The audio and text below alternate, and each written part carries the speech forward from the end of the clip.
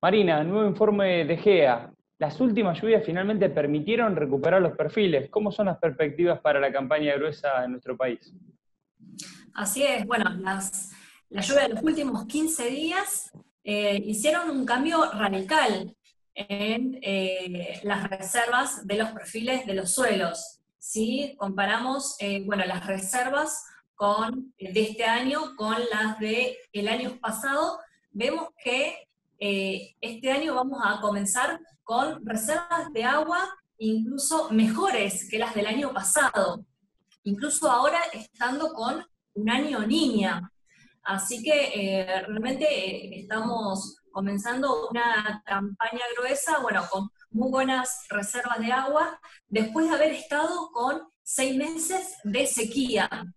Así que, bueno, son muy buenas noticias estas lluvias, eh, pero bueno, tengamos en cuenta que esto mismo, que estamos empezando este año niña, así que bueno, lo que nos espera, bueno, estas, estas lluvias que tuvimos en, estos últimos 15 días de octubre se dieron gracias eh, a, a, un calentamiento que se dio en el Océano Atlántico. Así que, bueno, gracias a esta, a esta humedad proveniente desde el Océano Atlántico, eh, tuvimos, bueno, estas, estas lluvias. Así que, bueno, esto le da un impulso a los maíces que estaban sembrados, a los maíces tempranos que estaban sembrados, que realmente estaban empezando a, tener malas condiciones, así que bueno, van a, van a mejorar, y le da también, eh, bueno, un arranque a la siembra de soja de primera, que necesitaba 30 milímetros para su siembra, así que bueno, con estos milimetrajes realmente eh, podrán sembrarse eh, la soja en la región núcleo. Entramos en la recta final de la campaña de trigo, ¿no? ¿Qué se puede esperar? Bueno, también estas lluvias sirvieron para, eh, nosotros decimos, para levantar cabeza a los trigales de la región. Eh, mejoraron unas 240.000 hectáreas de trigo en la región núcleo. Hace 15 días hablábamos que la mitad del trigo de la región estaba entre regulares y malas condiciones. Y ahora decimos que el 45% de la región núcleo está en estas condiciones. Así que realmente hubo un mejoramiento del trigo tras las lluvias.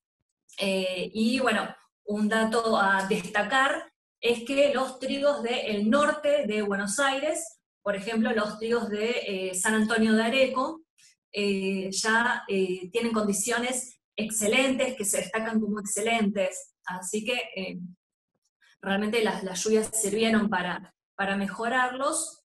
Y eh, también, bueno, lo que podemos decir es que el rendimiento se va a mantener en 29 quintales por hectárea, si bien algunos máximos por ahí podrían levantarse eh, con las lluvias, el rendimiento promedio va a mantenerse pero eh, bueno, los trigos de, la región núcleo están en periodo de llenado de granos, así que bueno, estas lluvias van a servir para que, eh, como dije antes, el eh, rendimiento no decaiga.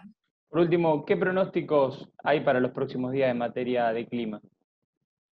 Bueno, para los próximos días no se esperan lluvias en la región, o sea, un clima estable, pero bueno, y hay que tener en cuenta, esta, o sea, a, largo plazo, eh, que estamos en un periodo de año niña, así que bueno, fueron muy bienvenidas las lluvias que tuvimos a fines de noviembre.